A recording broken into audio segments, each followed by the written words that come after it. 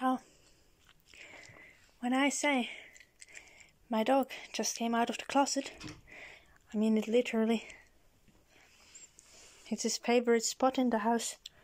He's always sleeping there, stores his toys there, and all that good stuff. Right, Edi?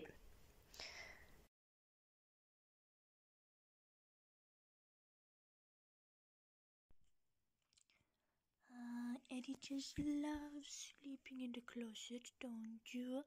Yeah, yeah.